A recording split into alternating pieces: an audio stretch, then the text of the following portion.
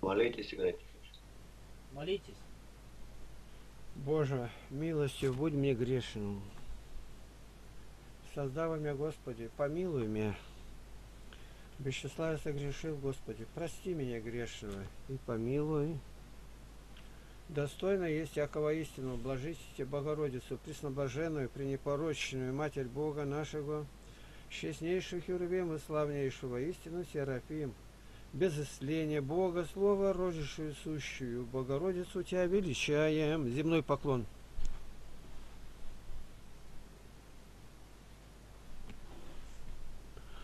Слава Отцу и Сыну и Святому Духу, и ныне и присно, и во веки веков. Аминь. Господи помилуй, Господи помилуй, Господи благослови. Воскресный из мертвых, Господи Иисусе Христе, Сыне Божий, молитва ради Пречистой Твоей Матери, силы честнаго животворящего креста, святых ангелов наших, хранителей, и всех ради святых помилуй, спаси нас, яко благи и человека любец. Аминь. Боже, будь милостив ко мне грешному, создавай меня, Господи, помилуй меня. Без числа я согрешил, Господи, прости меня грешного и помилуй. За молитвы святых Отец наших, Господи Иисусе Христе, Сыне Божий, помилуй нас. Аминь. Слава Тебе, Боже наш, слава Тебе всяческих ради, слава Тебе, Боже наш, слава Тебе всяческих ради, слава Тебе, Боже наш, слава Тебе всяческих ради. Боже, очисти меня грешно, я лишь благой сотвори пред Тобою, но избави меня от лукавой, да будет мне воля Твоя, да не осужденно отверзу уста мои недостойно, восхвалю имя Твое святое, Отца и Сына и Святого Духа, ныне и присно, и во веки веков. Аминь. Царю Небесный, утешителю души истины, еже везде свои, вся исполняя сокровища благих и жизни подателю. Приди и вселись в очистенные от всякие скверны, и спаси блажи души наши. Святый Боже, святый крепкий, святый бессмертный, помилуй нас. Святый Боже, святый крепкий, святый бессмертный, помилуй нас. Святый Боже, святый крепкий, святый бессмертный, помилуй нас. Слава Отцу и Сыну и Святому Духу, ныне и присно, и во веки веков. Аминь. Пресвятая Троица, помилуй нас, Господи, очисти грехи наши. Владыка, прости беззаконие наше. Святые посети и исцели немощи наши, имени Твоего ради. Господи, помилуй. Господи, помилуй. Господи, помилуй. Слава Отцу и Сыну и Святому Духу, и ныне и присно, и во веки веков. Аминь. Отче наш, и иже на небесах, да светится имя Твое, да приидет царствие Твое, да будет воля Твоя, яко на небеси и на земли. Хлеб наш насущный, дашь нам днесь, и остави нам долги наши, якоже и мы оставляем должником нашим, и не веди нас во искушение, но избави нас от лукавого. Ибо Твое есть царство, сила и слава во веки. Аминь. Уставши от сна припадам Тебе блажь, ангельскую песню пьемте сильный. Свят, свят, святости Божия, Богородицу и помилуй нас. Слава Отцу и Сыну и Святому Духу, отодрай сна, воздвигнись, Господи, умой, просвети сердце. Усне мои отверзи, же пейте, Святая Троица. Свят, свят, свят, Богородицу и помилуй нас. И ныне и присно, и во веки веков. Аминь. Внезапно судья приидет, и ко его же деяния обнажаться, но страхом зовем полунощи. Свят, свят, свят, если Боже, Богородицу и помилуй нас. Господи, помилуй. Господи, помилуй. Господи, помилуй. От сна восстав, благодарю Тебя, Всесвятая Троица, яко многие ради Твоей благости, долго терпения, не прогневался на меня ленивый и греш, не погубил меня с беззаконием моими. Но любствовал и все обычно, и в нечаянии лежащего воздвиг меня Иси. Воеже утренние словословите державу Твою, и ныне, Владыка, просвети мои ощи мысленные, отверзи мои уста, поучайтесь о слове всем Твоим, и разумейте заповеди Твоя и творите волю Твою, и петь Тебя во исповедании сердечным. воспевать все святое имя Твое Отца и Сына и Святаго Духа, ныне и присно и во веки веков. Аминь. Придите, поклонимся Цареве нашему Богу, придите, поклонимся Христу, Цареве Богу нашему. Придите, поклонимся и припадем к самому Господу Иисусу Христу, Цареве и Богу нашему.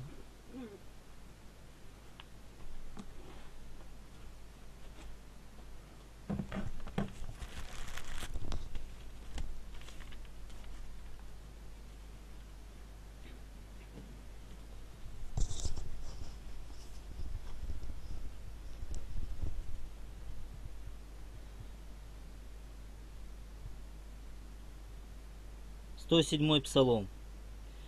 Готово сердце мое, Боже, готово сердце мое. Буду петь и воспевать во славе моей. Воспрянь псалтыри гусли, я встану рано. Буду славить Тебя, Господи, между народами, буду воспевать Тебя среди племен. Ибо превыше небес милость Твоя, и до облаков истина Твоя. Будь превознесен выше небес, Боже, над всей землей да будет слава Твоя. Дабы избавились возлюбленные Твои, спаси десницу Твоею, и услышь меня. Бог сказал во святилище своем, восторжествую, разделю Сихем и долину Сахов размерю. Мой Галаад, мой Манасия, Ефрем крепость главы моей, Иуда скипетр мой, Маав умывальная чаша моя, на Идому простру сапог мой. Над землей филистимскую восклицать буду. Кто введет меня в укрепленный город? Кто доведет меня до Идома? Не ты ли, Боже, который отринул нас, и не выходишь, Боже, с войсками нашими? Подай нам, подай нам помощь в тесноте, ибо защита человеческая суетна. С Богом мы окажем силу, Он не зложит врагов наших. Боже хвалы моей, не примолчи, ибо отверзись на меня уста нечестивые и уста коварные. Говорят со мной языком лживым. Отсюда окружают меня словом, словами ненависти, вооружаются против меня без причины. За любовь мою они враждуют на меня – а я молюсь. Воздают мне за добро злом, за любовь мою ненавистью.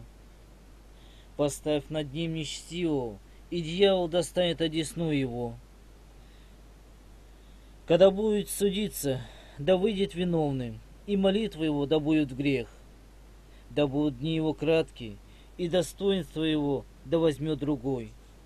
Дети его да будут сиротами, и жена его вдовою да скитаются дети его, и нищенствуют, нищенствуют, и просят хлеба из развалин своих. Да захватит, взаимодавит все, что есть у него, и чужие да расхитит труд его. Да не будет сострадающего ему, да не будет милующего сирот его. Да будет потомство его на погибель, и да изгладится имя их в следующем роде. Да будет воспоминать воспомянуто перед Господом беззаконие отцов его, и грех матери его да не сгладится. Да будут они всегда в очах Господа, и да истребит он память их на земле. За то, что он не думал оказывать милость, но преследовал человека бедного и нищего, и сокрушенного сердцем, чтобы умертвить его. Возлюбил проклятие, оно и придет на него. Не восхотел благословения, оно и удалится от него. Да облечется проклятием, как ризою, и да войдет оно, как вода, во внутренность его, и как елей в кости его. Да будет оно ему, как одежда, в которую он одевается, и как пояс, которым всегда поясывается. Таково воздаяние от Господа врагам моим, и говорящим злое на душу мою. Со мной же, Господи, Господи, твори ради имени Твоего, ибо благо милость Твоя, спаси меня. Ибо я беден и нищ, и сердце мое уязвлено во мне. Я исчезаю, как уклоняющаяся тень, гонит меня, как саранчу. Колени мои изнемогли от поста, и тело мое лишилось тука. Я стал для них посмешищем. Увидев меня, кивает головами своими. Помоги мне, Господи Боже мой, спаси меня по милости Твоей. Да познают, что это Твоя рука, и что Ты, Господи, соделал это. Они проклинают, а Ты благослови. Они восстают, но да будут постажены. Раб же Твой да возрадуется. Да облекутся противники мои бесчестием, и как одежду покроются стыдом своим. И я громко буду устами моим славить Господа, и среди множества прославлять Его. Ибо Он стоит одесную бедного, чтобы спасти его от судящих души его. Слава Отцу и Сыну и Святому Духу, и ныне и присно, во веки веков. Аминь. Аллилуйя, аллилуйя, слава Тебе, Боже. Аллилуйя, аллилуйя, слава Тебе, Боже. Аллилуйя, аллилуйя, слава Тебе, Боже, Господи помилуй, Господи помилуй, Господи помилуй. Слава Отцу и Сыну и Святому Духу, и ныне и присно, и во веки веков. Аминь. Аминь.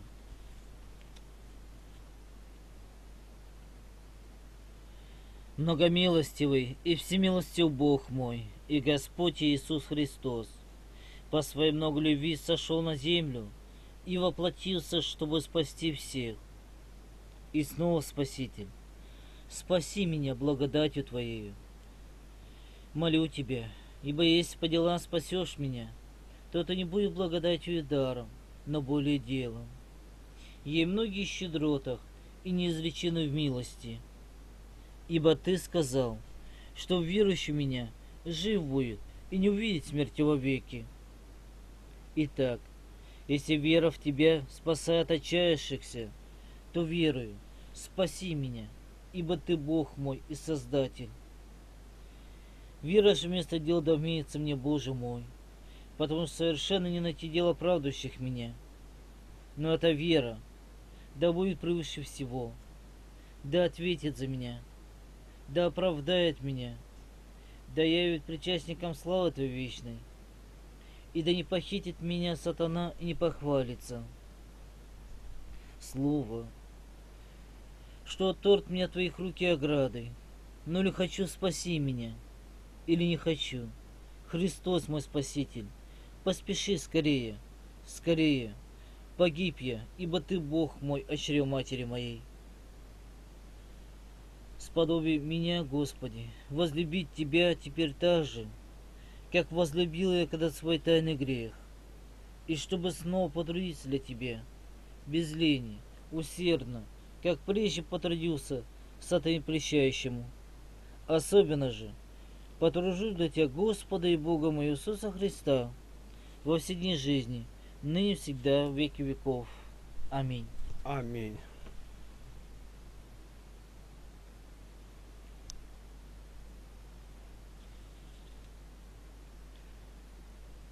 Святой ангел, поставленный хранить мою бедную душу и несчастную жизнь, не оставь меня грешного, и не отступи от меня за невоздержание мое.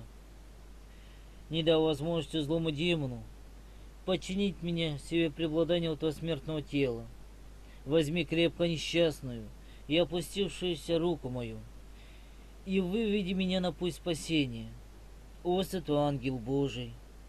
Хранитель, покровитель бедной души и тела. Прости мне все, чем я оскорбил тебя во все дни моей жизни. Если я чем согрешил в прошедшую ночь, защити меня настоящий день и сохрани меня от всякого искушения вражеского, чтобы мне не пронимать Бога никаким грехом. И молись за меня Господу, чтобы Он утвердил меня в страхе своем и сделал меня рабом, достойно своей милости. Аминь. Аминь.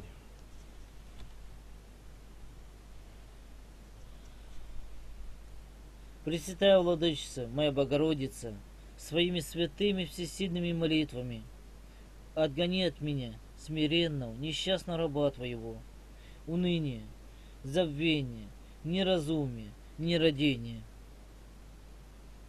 Удали все скверные, лукавые и хульные помыслы из окаянного моего сердца и помраченного ума моего, и погаси пламя страстей, ибо я Бог несчастен. Избавь меня от многих пагубных воспоминаний и помыслов, и освободи меня от всяких злодеяний, ибо Тебя благословляют сироды, и причисто имя Твое славится во веки вечное. Аминь. Аминь. Поминаем своих святых, каждое свое имя святого называйте, как его зовут. Молите Бога о нас, святые угодники Божии, Игнатий, Владимир, Надежда, Людмила. Ибо мы усердно к вам прибегаем, скорым помощникам, молитвенникам о душах наших. Богородица Дева, радуйся, обрадована Мария, Господь с тобою. Благословена ты в женах, и благословен плод чрева твоего, яко родила Иси Христа Спаса, Избавителя душам нашим. Непобедимая божественная сила, счастного животворящего Христа Господня, не остави нас грешных, уповающих на Тебя. Спаси, Господи, люди Твоя, и благослови достояние Твое. Победа на сопротивное даруй, и Твое сохраняй крестом Твоим жительством. Спаси, Господи, помилуй отца моего духовного родителя и сродника, благодетеля митрополита Илариона, епископа Евтихия, Вениамина, Агафангела, Диамида, Тихона, Антония, священнория Акима, Павла, Геннадия, Сергия, Сергия, Василия, Иоанна, Михаила, Наума, Кирилла, Амбросия, Вадима, Максима, Владимира и Глеба не дай погибнуть. Диаконов Евгения, Александра, Михаила, Андрея, епископа Максима, митрополита Сергия, патриарха Кирилла, Венедикта Франциска Корнилия, Александра Диодора, митрополита Тихона и весь священнический и иноческий чин и высший истинный служитель миссионеров, христианам, язычникам, иудеям, мусульманам и буддистам. И нам дай еще священника, если угодно тебе, Господи. Смири власти воинств, их наведи страх и на них. И через них сотвори добрые законы и благо для церкви, дабы дали достойно жить подданным, дабы было еще уделять нуждающимся.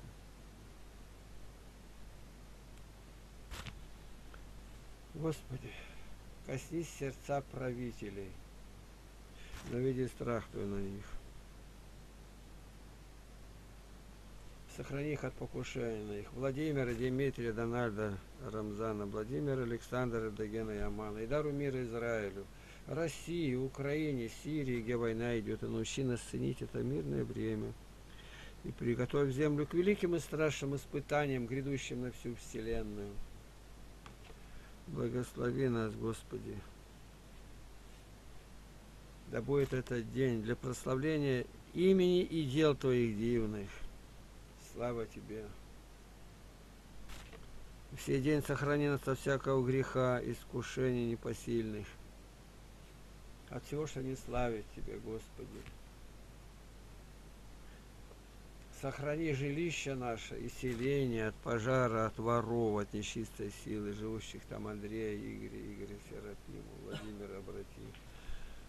Посети болящую Людмилу, Любовь, Владимира, Алексея, Иосифа. Прищи добрые жители с детьми, любящими, знающими уставы Твои.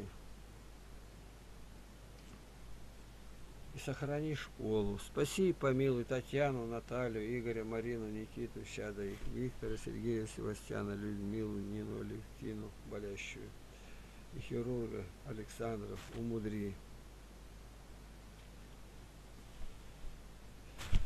Убуди всех на проповедь Евангелия. Спаси и помилуй Надежду, Валентину, Екатерину, Анастасию и Евгения. Наталью, Романа, Юрия, Рахиль, Ездру, Рустика, Тимура, Самиру благослови, дабы верили в Тебя как истинного Бога и не верили лжепророкам. Сергей, Сергей, Александр, Александр, Валентин, Екатерина, Екатерину, Галину. Слава тебе, воззри на угрозы врагов, на все пакости. Не дай им желаемого в злодействе.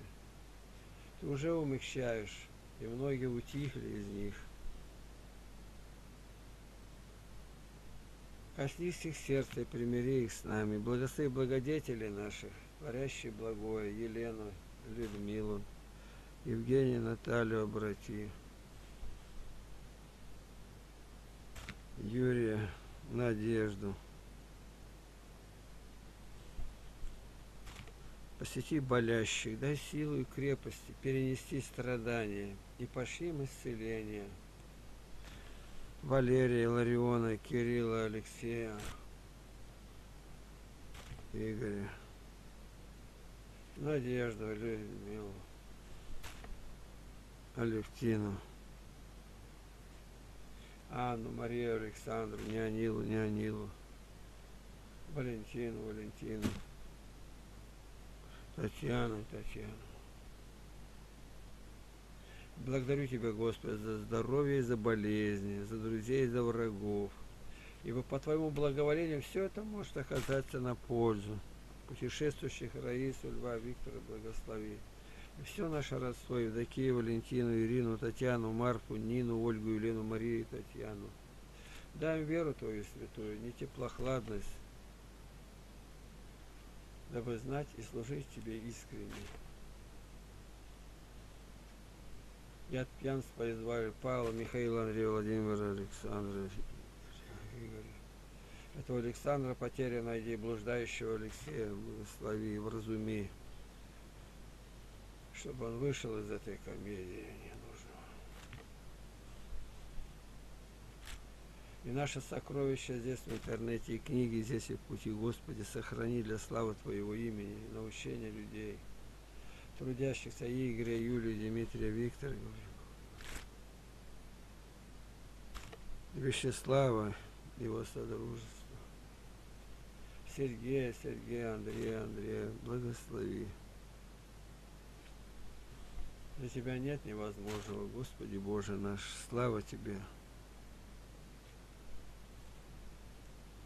Господи Иисусе Христе, Сыне Божий, помилуй нас. Господи Иисусе Христе, Сыне Божий, помилуй меня грешного. Слава Тебе, наш Бог и Иегова, Авва Отче. Свят, свят, свят Господь Саваоф. Вся земля полна славы Его, Аллилуйя. Слава Вышней Богу, на земле мир, в человека благоволение. Благодарю Тебя, Господи, за тот день, в который дал мне веру в Тебя, страх пред Тобой, ожидание суда Божия. Благодарю за тот день, в который дал мне Святую Библию, указал на толкование святых отцов на каноны церкви, как истину. Аллилуйя. Ангел Христов, хранитель мой святой, моли Бога мне грешен. Господи, воздай добром всем, кто помогал нам путешествию. Николая, Виктора, Павла, Зинаиду, Владимира, Дмитрия, Людмилу, Надежду, благослови. Благодарю Тебя, Господи, за тот день, когда Ты открылся мне. Страхе и трепете. Благодарю Тебя, Господи за день, в который дал мне Святую Библию и изменил жизнь, даровал духовное крещение в Духе Святом и наделил силою и жаждой благовествовать. Слава Тебе! Воздай вечности всем, кто трудился над моей душой и возрастанием ее в Тебе. Марию, Степана, Александра, Михаила, Анну. Обрати Тимофея, Тимофея, Мартина, Германа, Александра, Леонтия, Симона. Слава тебе, Боже наш, слава тебе. Добрый мой ангел, сколько лет ты хранил, защищал от видимых невидимых опасностей. Прошу тебя, не покинь смертный час, когда душа будет разлучаться от тела. Проведи душу по мытарствам. Веди ее навеки вечное царство Христа Бога нашего. Аллилуйя. Слава тебе, Боже наш, слава тебе. Ян Креститель, Предтеча Христов, моли Бога о нас, научи нас, Господи, жить и в бедности, имея пропитание одежду, быть благочестивым и довольным, никогда не роптать, никому не завидовать. И быть во всем экономным, дабы было еще уделять нуждающимся. Святитель Христов Никола, моли Бога нас, святые пророки Илья, Елисей, Нох, Моисей, Самуил, Аарон, Иов, Авель, Ной, Иосиф, Патриархи, Езра, Неемия, Амос, Наум, Исаия, Еремея, Варух, Закииль, Осия и Аиль, Агей, Сафония, Захария, Малахи, Давид, Нафан, Данил, Лотрахи, пророк Михей, Авраам, Исаак, Яков. Да исполнит Господь Духом пророческим церковь свою, дабы день прихода Твоего нашего отшествия не застал нас не готовыми, но чтобы выйти навстречу Тебе с горящими светильниками истинной веры и сосудами, полными илея добрых дел, соделанных в Духе Святом с любовью. Аллилуйя! Молите Бога о нас, святые ангелы, архангелы, херувимы, серафимы, все небесные силы престолу Божию предстоящие, святые апостолы Петр и Павел, евангелисты Матфей, Марк, Лука и Иоанн. Да дарует Господь нам жажду исследовать Священное Писание, ибо через них мы думаем иметь жизнь вечную, а они свидетельствуют о Тебе. Аллилуйя! Молите Бога о нас, святые мученики, мученицы, Игнатий Богоносец, Полихарм, Сминский, Устин, Философ, Космай, Дамьян, Андрей, Стратилат, Ирон Мученик, Климент Римский, Климент Анкирский, Анфим Никомедийский, Георгий Победоносец, Пантелеймон, 40 святых мучеников, царь Николай, святое царское семейство Владимир, имя Иосиф, Борис и Глеб, молите Бога о нас, да укрепит Господь народ свой. Дай силу и крепость перенести прием страданий. Не допусти, чтобы кто принял начертание зверя Антихриста. Анфима, Вениамина, дай веру, устраши родителей за такое ложное воспитание. Молите Бога о нас, святые отцы, Василий Великий, Григорий Богослов, Ян Златоус, Афанасий Великий, Прем Сирин, Антоний Макарий, Макарий, Антоний Феодосий, Корнилий, Иов, Сергий Радонский, Степан Пермский, Серафим Саровский, Ан Тобольский, Ан Кронштадтский, Ан Шанхайский, Кирилл и Макарий Алтайский, все переводчики Священного Писания. Молите Бога о нас. Слава Тебе, Боже наш, слава Тебе. Молите Бога о нас, Великий, Богослов, Ян Платоус, нас Великий. Святые жены и девы, Фёкла Первомученица, Фатина, Самарянина, Феврония, Вера, Надежда, Любовь, Матерь София, Наталья, Адриан, Варвара, Екатерина, Перепетуя, Татьяна, Ирина, Ольга, Елена, Нина, Мария Магдалина, Мария Египетская, Прескила и Акила, Андроника, Юния, Киприяна, Устина. Да дарует Господь послушание, молчание, целомудрие и стыдливость. Без прав не покорилась Галины, семейства и Евгении, Надежда, Надежда, Людмила и Анна. И прими нашу молитву, Господи, воздяние рук, как жертву вечернюю благоухание, приятно перед престолом благодати Твоей, Владыка. Прошу Тебя, Господи, услыши и исполни молитву всех, молящихся о нас во благо нам.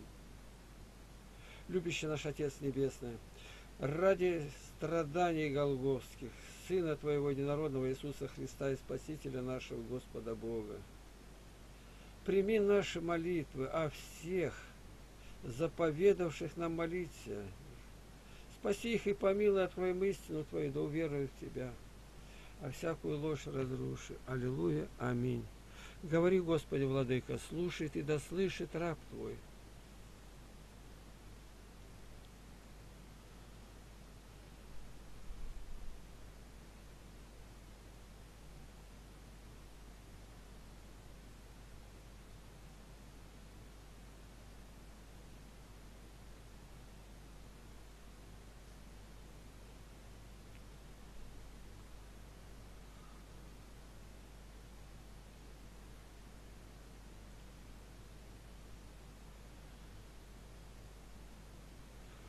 Аминь. Доброе утро всем. Вот когда считаете, святые Божии, святые крепкие, святые бессмертные, Священник один говорил, это в Тобольске, это надо так. Но ну, может быть, и надо так синхронно. Святые Божие на, на лоб, святые крепкие на чрево, святые бессмертные направо, и налево помилуй меня грешным. Все сходится. Попробуйте. Святые Божии, святые крепкие, святые бессмертные, помилуй нас. Аминь. Вот это тоже можно знать. У нас сегодня тут сестру на операцию кладут, Алевтина Пантелеевна. Операцию будут делать Александр, врач, тоже помолиться. Спасибо, помилуй. Она давно уже лишилась одной почки.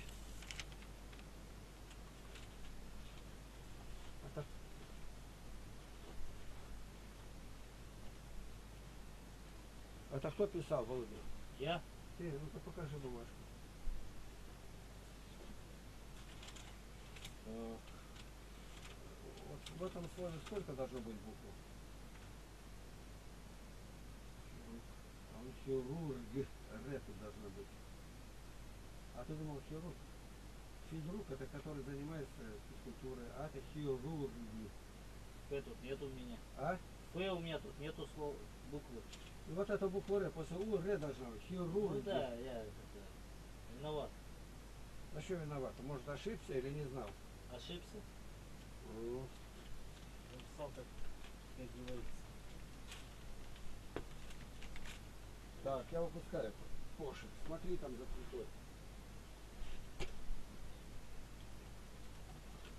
Первый белый, вот он, вот, вот. Паля вылетела, ну Паля. О, рыжая, как они, как ждут, будто сидят тут. Очень холодно. Там у нас в церкви 6 кошек под полом всю зиму кормят. 10 кошек у нас всего.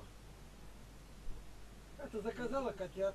Слепые было. Надо два. Выросли, а не надо. И куда их теперь девать буду? Что спрашивается? Лоб-то лаконный. Так, все. Отмолились вставать. Вечером уже не становиться. Это на колени. Сейчас слушайте, сидите. Сейчас будут вопросы считать. Дай я место сюда. Иди сюда, садись рядом.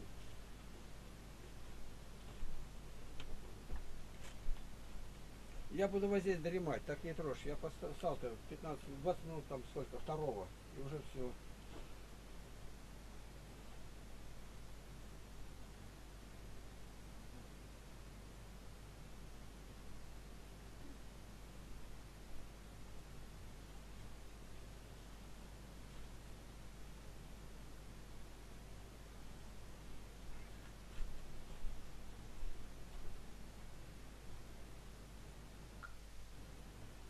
Меня слышно, текст видно. Текст видно.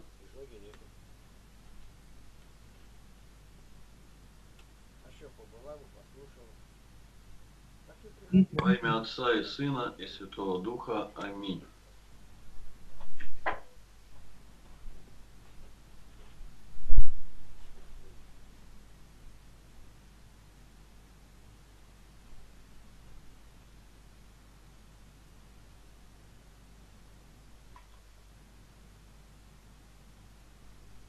Книга «Открытым оком», тема «Священство», вопрос 3959, том 28.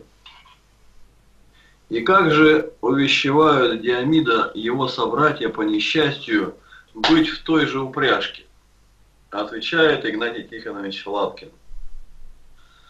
Давят к смирению и к полному безмолвию.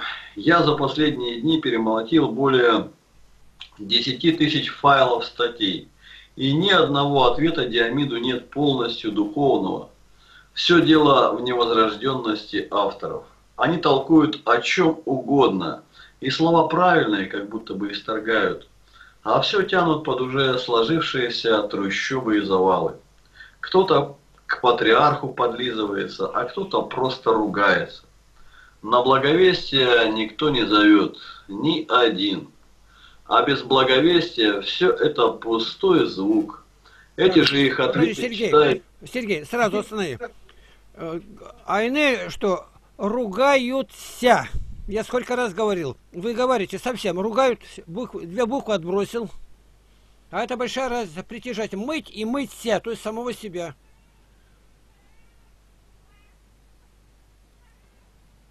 Все, продолжай.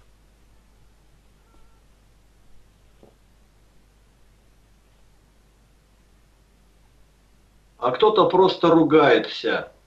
На благовестие никто не зовет, ни один. А без благовестия все это пустой звук. Эти же их ответы читают и евреи, и мусульмане, и разные еретики. И что они могут о нас подумать? А только одно, что попали в морг к давно протухшим мертвецам. Вот как понимают суперправославные. Двоеточие, кавычки открываются.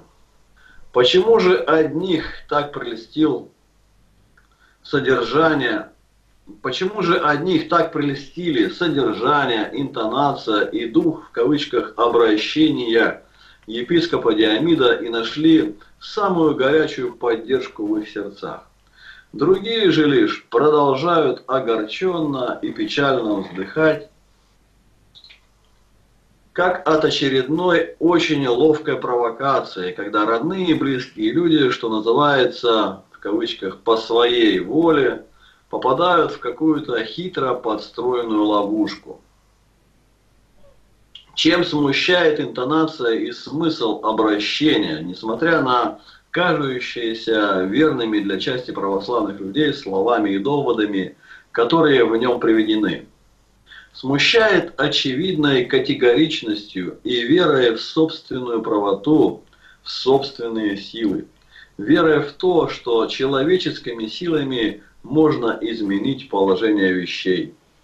А ведь это самое страшное заблуждение.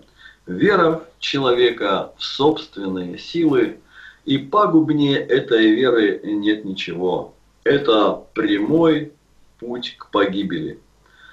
Потому что если бы подписаны, потому что если бы подписанты письма во всей полноте верили в Бога, а не в людей, то и обращение свое обратили бы не ко всем архипастырям, пастырям, клирикам, монашествующим и всем верным чадам Святой Православной Церкви, а к Господу. Ибо просить надо Бога, а не человеков. И тогда Господь смог бы прочитать следующее. Господи Иисусе Христе, Сыне Божий, мы, клирики, монашествующие, миряне, Анадырско-Чукотской епархии, во главе с нашим архипастырем и отцом преосвященнейшим епископом Диамидом, обращаемся к Тебе, Господу и Богу нашему. В настоящее время в Русской Православной Церкви Московской Патриархии – членами которой мы являемся, существует ряд отступлений от чистоты православного вероучения. И далее по тексту. Таким образом, патетическое воззвание обратилось бы в заурядное донесение или донос. В основе каждого произведения – на уровне подсознания всегда заложена мысль, даже не та, которую хотел выразить автор, а та, что выразилась помимо его воли. Анадырские пастыри хотели рассказать о нестроениях в нашей церкви, но на самом деле рассказали многое о себе. В духе этого воззвания появился дух светскости и советскости, дух вчерашних пионеров и комсомольцев – для которых впитанные с детства в советских школах манеры поведения являются совершенно естественными. Несмотря на то, что облеклись они уже в иноческие и священнические одежды, а духа рассудительности, главной христианской добродетели, в этом воззвании не видно. И именно поэтому пришлось по сердцу слова и дух этого обращения нашим братьям, в кавычках, ревнителям с интернет-сайтов «Русь православная» и «Русская идея» и прочих квазипатриотов. Надо с сожалением заметить, что к ним примкнули и некоторые достаточно трезвомыслящие люди. Именно этот факт огорчает больше всего. Представим, что может ответить Господь, прочитав на это обращение. Не скажет ли Он нам, что представим, что может ответить Господь, прочитав это в кавычках обращение?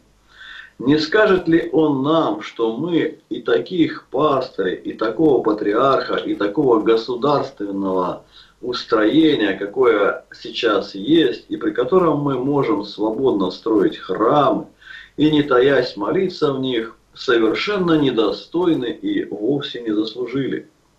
Что все это Господь дал нам не по каким-либо нашим заслугам, а только по своей неизреченной милости – как бы в долг с надеждой, что мы все это отработаем и вернем как врученные нам таланты. Смогли бы мы услышать слово такого в кавычках обращения из уст действительно признанных авторитетов сегодняшней русской православной простите, смогли бы мы услышать слова такого обращения в кавычках из уст действительно признанных авторитетов сегодняшней Русской Православной Церкви, архимандрита Кирилла Павлова или протеерея Иоанна Миронова, отца Николая Гурьянова или архимандрита Иоанна Крестьянкина? Конечно же нет, потому что и ныне здравствующие и уже упокоившиеся батюшки наши строили свою деятельность в соответствии со всем в соответствии с совсем другими категориями категориями личного, внутреннего нравственного совершенствования. Это совсем другое духовное пространство, обитая в котором остается возможность обрести надежду на спасение. Надо сказать, что молитвы за власть, которые ставят в вину нашему священноначалию подписанты совершались с самого начала апостольской проповеди. Цитата. «Итак, прежде всего прошу совершать молитвы, прошения, моления за всех человеков, за царей, за всех начальствующих, дабы проводить нам жизнь тихую и безмятежную, во всяком благочестии и чистоте. 1 Тимофею 3, 1, 2. Все в кавычках обращение покрыто как бы тонкой сетью лукавства и создается впечатление, что большинство из тех, кто на страницах печати или на интернет-сайтах выступили в поддержку обращения, так и не исторгли из своего сердца яд большевизма. И уже не слышат они сегодняшнего духовного авторитета, кому не единожды обращались в прежние времена епископа Приморского и Владивостокского Вениамина, который, комментируя появление очередного публичного обращения епископа Диамида, указал, кавычки открываются, что все эти вопросы надо рассматривать спокойно и в духе церковности, а не в виде светских митингов, в кавычках, в виде открытых писем. Конец цитаты. Не слышат братью Троицы Сергиевской лавры, куда сегодня за духовным укреплением едут сотни тысяч паломников, которая с предельной точностью указала владыке Диамиду на то, что, цитата, Используя формат открытого письма при обращении к его святейшеству, архиереям Русской Православной Церкви, вы прибегаете к одному из самых спорных инструментов демократии, борьбу с которой вы считаете одной из главных задач Церкви.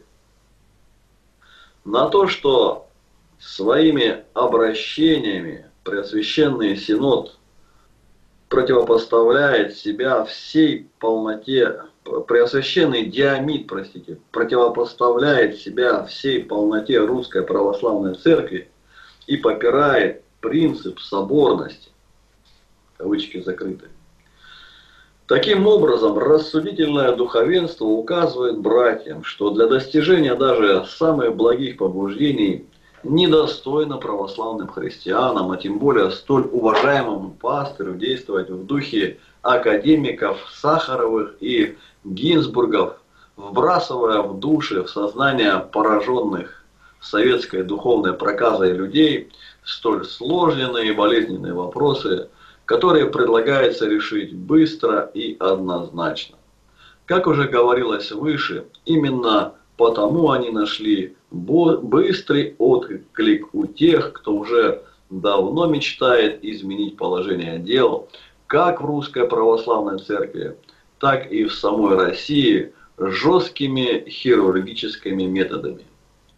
В глубине воззвания сосредоточен вовсе не дух благочестия, а дух бунта и революционности. Такой дух уже владел в России умами, причем весьма нравственного духовенства в начале 20 века. И к чему это привело, хорошо известно. И сегодня среди некоторых патриотических изданий очень модны мысли о том, что только революция может сегодня спасти Россию от давлеющего над ней ига. Мне эти призывы видятся глубоко ошибочными. Не революция, а благочестие и чистота. Тех, кто сегодня призывает к революции, к насилию и бунту, можно смело назвать последователями Милюковых, Гучковых и Керенских. Всех этих нравственных уродов, которые заварили революционную кашу в начале 20 века – а затем сбежали из России. А русский народ расплачивался за них собственной кровью. Я уже не говорю о Лениных, Троцких и прочих революционерах, которые с беспощадностью маньяков терзали Россию. И именно к этим революционным временам призывают нас вернуться современные э, псевдоревнители – что это будет за государственное устройство с автоматами на перевес, да из-под палки к Богу? Господу нужна наша свободная воля, наш свободный выбор. Выбор этот есть даже у самого отъявленного грешника.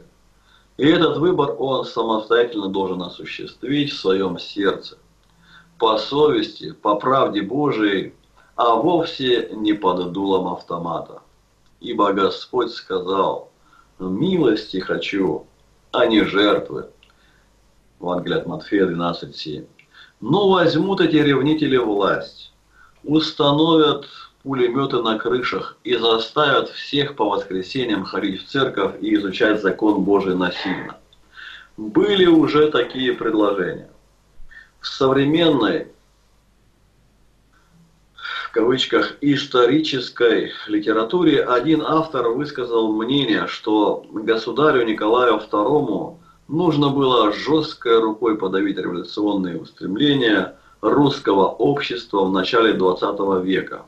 Двоеточие, кавычки открываются. Выкопали бы пару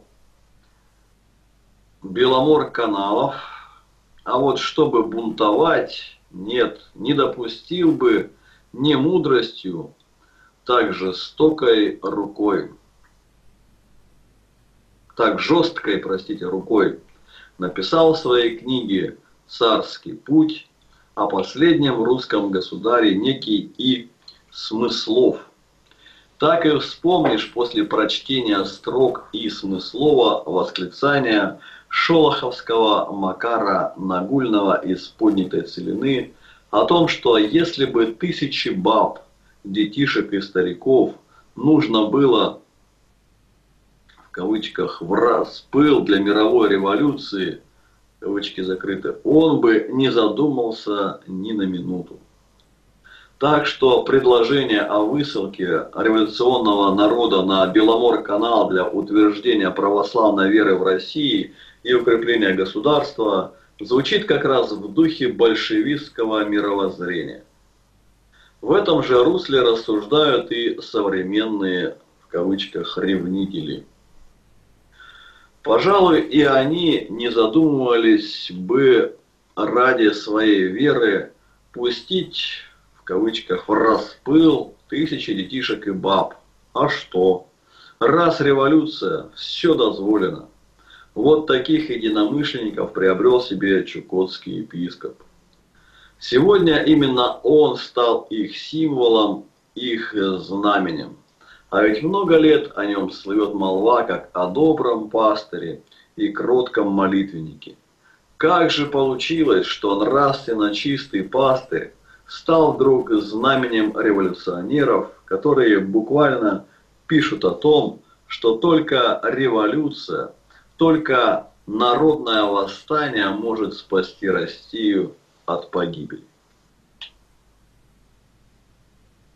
Но революция – это путь в никуда, а вернее в ад. Есть другой путь, и он единственный. Путь собственного преображения и изменения мира через преображение себя, своей собственной внутренней сущности. И только этот путь верен и надобен Господу.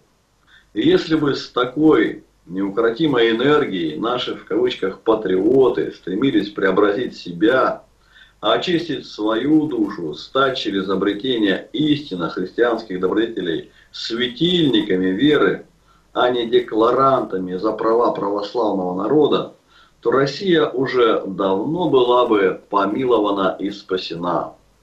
Но совсем не в то русло направлена духовная энергетика таких людей.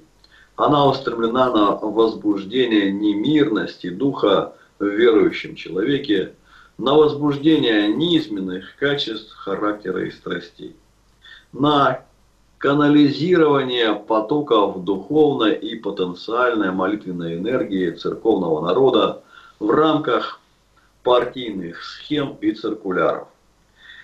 Именно поэтому им выгодно разделение православного народа на тех, в кавычках, кто стремится служить правде Божией, сопротивляясь тайне беззакония, кавычки закрыты, и тех, кто служит апостасийному начальству, маскируясь под, в кавычках, православных, для подчинения народа готовящемуся царству Антихриста. Конец цитаты. Но если бы, в кавычках, ревнители действительно были ревнителями, то не нужно было бы никаких воззваний, ни митингов, потому что через чистую молитву, покаяние, безмолвие, смирение, пост, послушание сподобились бы они от Господа таких даров, такого священноначалия, такого государственного устроения, такой благодати для себя и русского народа, что никакие обращения или воззвания уже не потребовались. Русские иноки уходили в пустынные леса, в уединение, стремились в безмолвие и там, пребывая в пустынничестве, через победу над собой вымаливали державность земле русской. Они молились там, а Господь по своей святой воле, по своему благому усмотрению обустраивал в миру все, что необходимо для полноты государственного устройства России. Поставлял куда необходимо нужных людей, формировал обстоятельства, способствующие спасению человеческих душ, спасению и процветанию государства. А мы стремимся сначала изменить мир в надежде на то, что он потом изменит нас и окружающих. Но эта идея утопична. Мало того, она пагубна для спасения души. Надо понимать и верить, что сила Божия может проявляться в гораздо больших и страшных событиях, чем виденное нами несколько лет назад цунами на берегах Индийского океана. Стояли бордели, казино, процветал разврат. Десять минут и ничего не стало. А Господь может гораздо более существенным образом в одно мгновение переменить всю ситуацию не только в стране, но и во всем мире. Или мы не верим в это? Все может измениться, но только не по требованиям гордых, а по молитвам смиренных. А участь гордых предсказана. Если у нас стыд и совесть, и способны ли мы еще испытывать чувство стыда и грузения совести, или эти качества у нас уже абсолютно атрофировались? Если мы действительно верим в Бога и Богу, то для чего же выступаем в качестве требователей? Да какое мы имеем право? Или может у кого-то, или может у кого-либо есть сомнения в том, что Господь не видит и не слышит всего того, что происходит в России, с Россией и с ее народом. Так где же вера наша? Требовательность созыва поместного собора больше напоминает борьбу за свои права. Кто на него соберется? Горлопаны, которые сейчас окончательно распилили союз русского народа. Так там не видно христовой веры, а есть некая партийная деятельность.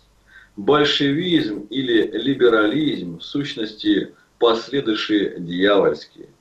И это лишь поверхностно они противостоят друг другу для испытания и уловления многих, а в глубине своей это две змеи, вылупившиеся из яиц, из яиц одного гада.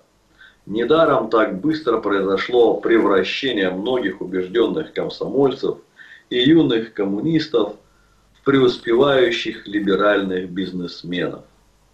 Следует здесь вспомнить ветхозаветную историю о том, как израильский народ за свое богоотступничество был наказан и предан в руки вавилонского царя Новоходоносора, который подчинил себе иудейское царство, но не стал разрушать храм и сохранил Иерусалим. Когда иудеи хотели поднять восстание – Пророк Иеремия стал убеждать их и царя Сидекию не делать этого. Он говорил, что вавилоняне посланы Богом в наказание за грехи царей и народа, за отступничество от веры, что единственным способом избавиться от бедствия являются покаяние и исправление, покаяние, исправление и молитва к Богу.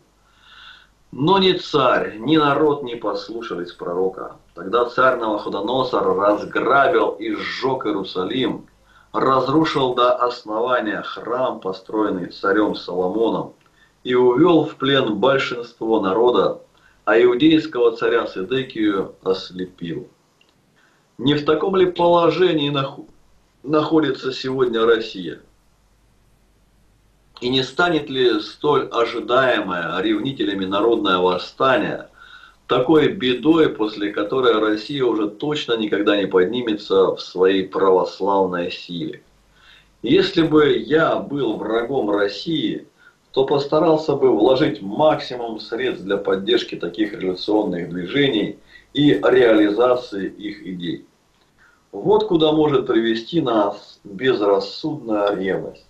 Именно в этом духе действует сейчас сайт «Русская идея». Парадокс. Тот, кто объявляет себя борцом с иудейством, призывает народ повторить ошибочные действия ветхозаветных иудеев времен пророка Иеремии. Впору Господу уже спросить с нас за наши беззакония, и удивительно, что Он еще так долго терпит нас и не погубил нас со беззакониями нашими. Мы все как бы участвуем в театре абсурда. Более 80% называют себя крещенными и православными. И столько же тех, кто запятнал себя, будучи причастным к убийству через аборт. Ныне в России ежедневно убивается через аборт 13 тысяч младенцев. Что это значит? Это значит, что 13 тысяч женщин ежедневно ложатся под нож, и вместо Божьей милости и благодати материнства получают дьявольское клеймо человека-убийцы. Чего же недостойны убийцы младенцев? Все в обществе, чего же достойны убийцы младенцев? Все в обществе сегодня возмущаются засилием педофилов, маньяков и прочих садистов и требует для них самых жестоких смертных казней. Но чем лучше педофила мать, позволяющая разодрать на части в своей утробе невинного живого младенца? И самое страшное, даже не раскаяться в этом, не принести покаяние к Господу за участие в убийстве. Все возмущаются ростом детской и подростковой преступности, но не является ли эта преступность Божьим бичом за наши беззакония, за нашу греховную жизнь? Некоторые православные обвиняют власть в том, что она законодательно не запрещает аборты. А что же, если запретить, разве их перестанут делать? Нет, не перестанут. Будут делать подпольно. Но это даже второй вопрос. А первый. Почему и зачем власть должна взять на себя те функции, которые обязана выполнить совесть каждого конкретного человека? Ведь насильно-то в абортарии ни президент, ни губернаторы никто не тащит. От греха в первую... Простите. Ведь насильно-то в абортарии ни президент, ни губернаторы никого не тащат. От греха в первую очередь нас должна отстранять наша совесть, а вовсе не государственная власть. Власть не способна изменить совесть народа. Если она у него еще есть, она способна только к тому, чтобы вселить в него страх. Но не страх Божий, а страх как эмоцию в ситуации угрозы биологическому или социальному существованию индивида. Но надобно ли это Господу? Зато народная совесть в полной мере способна изменить власть и государственное устройство. Сегодня русский народ в своем большинстве православный и крещенный пока только по названию. И необходимо пройти эволюцию. Может она будет короткой, но только это должна быть эволюция, а не революция. Какой смысл решать все поставленные болезненные вопросы, если в сущности мы, даже решив их, останемся народом безбожным, народом-убийцей, народом-богоотступником и клятвопреступником, народом, ищущим своего, а не Божьего, народом, который не несет свет миру, не желает быть солью земли.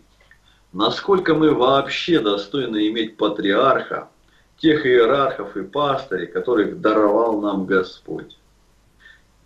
Не мы их выбирали, Господь поставил их над нами. Абсурдно и есть признак неверия думать, что неволею Господа стоят сегодня, над, стоят сегодня над нами те пастыри, которых мы заслуживаем, а вернее сказать, не заслуживаем. Бог их поставил над нами. Может быть, они не самые лучшие, но других-то нет. Откуда им взяться? Нет иноческого делания. Архиереи выходят из иноков, а иноков нет. В одном Кирилло-Белозерском монастыре было в свое время более 500 иноков, а сегодня всего три, а по всей Санкт-Петербургской епархии около 200. В одном из своих посланий государь Иоанн Грозный писал, сказано, что свет инокам ангелы и свет мирянам иноки. А сегодня общество не дает миру иноков, а значит нет света миру. А если и дает, то каких?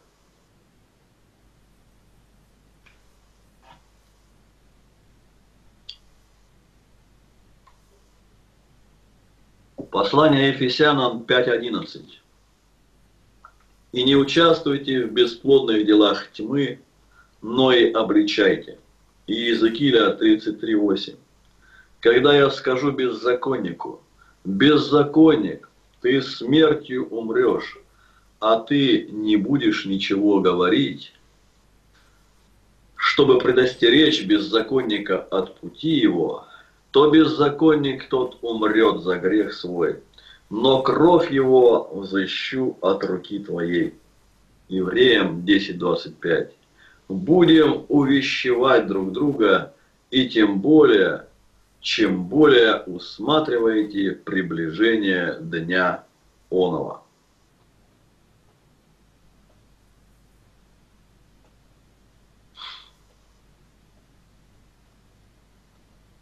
Милостыня, 1878 год, И. С. Тургенев. Вблизи большого города по широкой проезжей дороге шел старый больной человек. Он шатался на ходу, его исхудалые ноги, путаясь, волочась и спотыкаясь, ступали тяжко и слабо, словно чужие. Одежда на нем висела лохмотьями, Непокрытая голова падала на грудь, он изнемогал.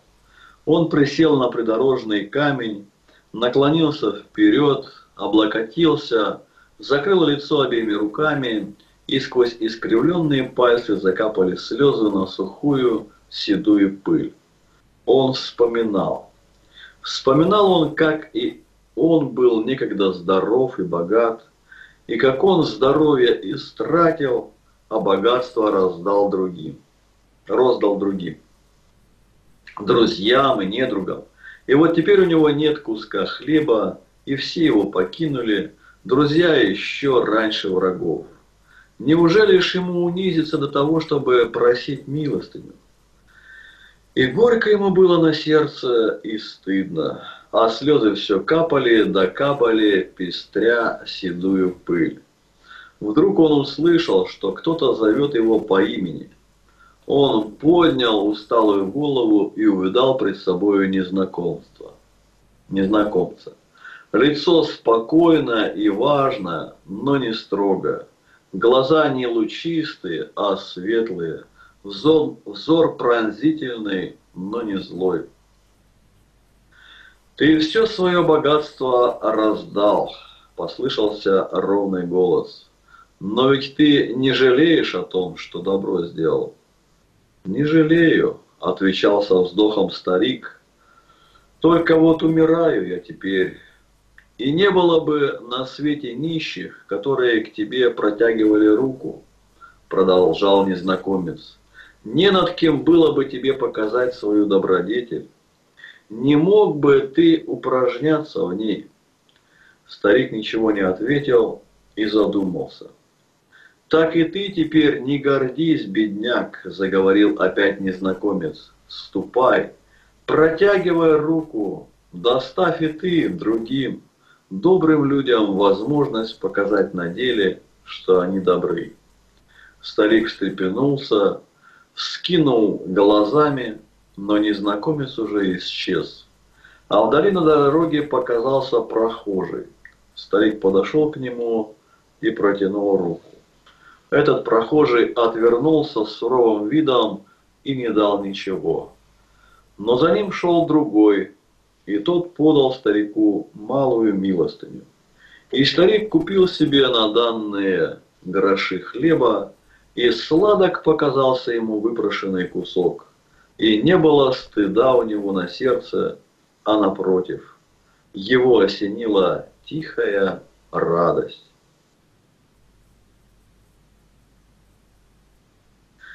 Кого по выбору нам можно не любить, В дом не впускать, приветом не лаская, Как не сойти с натоптанных орбит, Быть с нелюбовью даже в день пасхальный.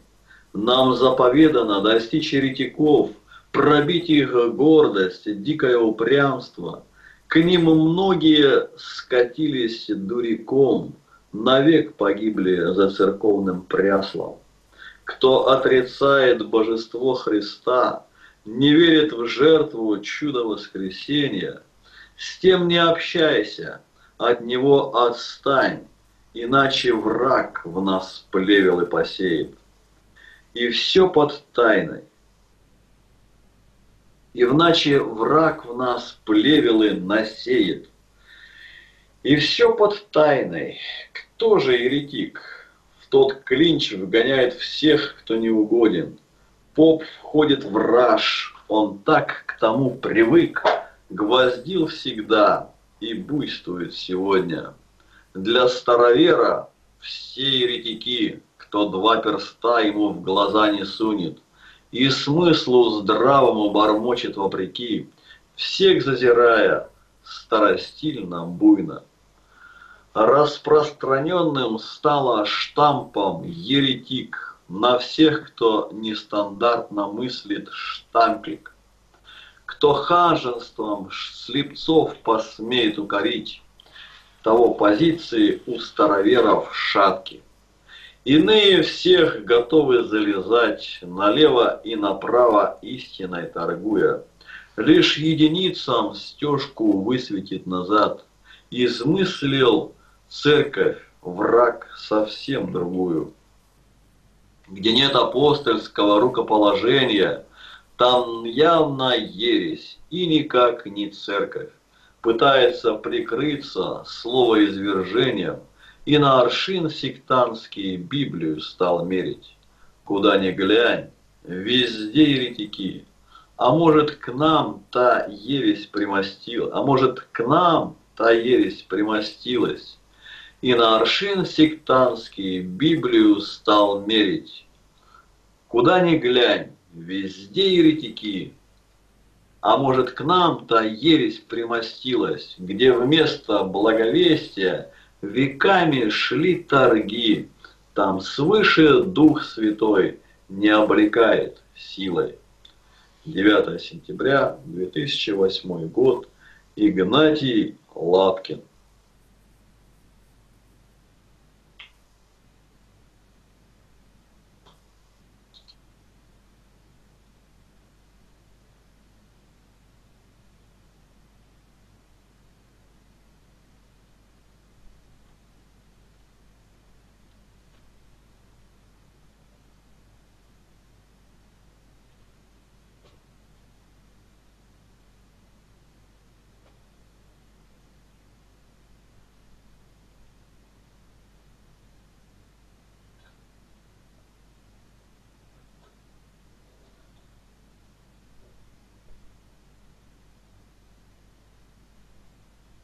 Во имя Отца и Сына и Святого Духа. Аминь. Книга «Открытым оком». Тема священства. Том 28, вопрос 3978. Современные беспоповцы ищут ли для себя священство или незыблемо остаются в расколе?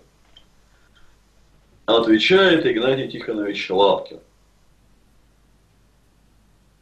Редко, но встречаются заметки маленькие подвижки. Цитата. «Ваше Преосвященнейшество, Преосвященнейший Владыка Даниил, с троекратным, землекасательным поклоном к вам и спрашивая от вас благословения и святых молитв пред Богом, единоверцы Урала, Наша община старообрядцев-беспоповцев часовенного согласия в количестве более 200 человек приняла православие в 1995 году с большим вниманием и терпением мы наблюдаем за переговорами русской православной и русской зарубежной церквей в ожидании соединения двух ветвей некогда одной церкви, как сказано в Писании. «Се, что добро или что красно, но еже житии братьи в купе, а всем Бога Господь обеща живот вечный». Антифоны восьмого глаза. Единоверцы всей России молятся о том, чтобы Господь объединил их под епископским амофором, а также просят Бога, чтобы Господь помог совершить дело объединения церквей. Сами некогда пережив состояние отрешенности от церкви, будучи старообрядцами-беспоповцами, скорбим о разделении наших церквей. Для нас необычайно важен ваш духовный опыт в руководстве единоверческой паствы. Он мог бы стать началом и фундаментом объединения единоверческих подвигов, единоверческих приходов России. Нас очень насторожило ваше обращение к пастве православной церкви за границей и смутила его политизированная направленность. Строки обращения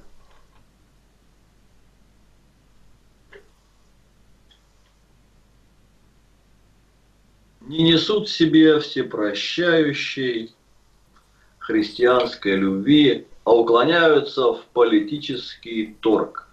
Разве могут стать выше церковного единства какие-то политические выгоды? В свое время старообрядцы были гонимы и бесправны в своем Отечестве. И все это нам пришлось оставить позади ради мира и единства с православной церковью, хотя был соблазн вспомнить старое и вступить в компромиссные переговоры. Тяжело, но необходимо было забыть притеснения и обиды наших предков, и ради спасения душ многих старообрядцев – Господь сподобил по великой своей милости вернуться в лоно Матери Церкви и восстановить единство с ней. А мы так все надеялись в тайне, что живет где-то в граде Ирии единоверческий архиепископ, и будет у нас, одноверцев России, свой епископ для духовного совета и окормления. Мы будем молиться и дальше о даровании мира церквам, чтобы Господь уврачевал все нестроения и хранить надежду на объединение не только русской и зарубежной церквей, но и всех единоверцев. Простите, если что не так. Единоверцы Урала, Иерей Леонтий с прихожанами. Вторая, Ездры 5.40. «И сказал им Неемия, чтобы они не участвовали в святынях, доколе не восстанет первосвященник, облеченный в Урим и Путим». Иоанна 6.53. Иисус же сказал им, «Истина, истина говорю вам, если не будете есть плоти Сына Человеческого, и пить крови его, то не будете иметь в себе жизни. Еврейской теме вышел не случайно. Корпел над ней, сверялся по крупицам, известное одно с другим сличаю, а тайне той не уставал молиться. И высветились до конца времен страдания еврейства, их судьбина – Бесчетно раз разбит народ, пленен, но выживал, как мамонтовы битни, бивни. Избранием кичатся и поныне, что Иегова приоткрылся им, в тысячелетия Бог изредка поднимет и возрождался вновь Иерусалим. Вот робу жадинам, банкирам, олигархам – проклятия сыплются вблизи, издалека. В их гроб обиженные любят с кровью харкать. Рыбешек в зоб сбивает пеликан. На отвержение Христа придет Антихрист. Смятение и голод от печати, жидовский шиш, вселенский чирий – мучения вечного, язвительный начаток. Но мы, неизбранные, как отбросы Гои, сподобились уверовать в Христа, Ему последовать в князья из дикой голи, чтобы в воскресении навек пред Ним предстать. Да не забудем, к нам через евреев достиг глагол избранников пророков – мы им обязаны. то отрицать не смеем, и благодарность к тем погасит ропот. Сегодняшних евреев не сравнить, они жестоковынее вчерашних. Их били, жгли, пускали на распыл, то рейх, то коммунизм, гулаг их трахал. Владыка неба, сжалься и помилуй, остаток ненависти, выжги и упрямства. Друг друга гнали, резали и били, любовью осени, чтоб в злобе не захряснуть. 5 мая 2008 года Игнатий Лапкин.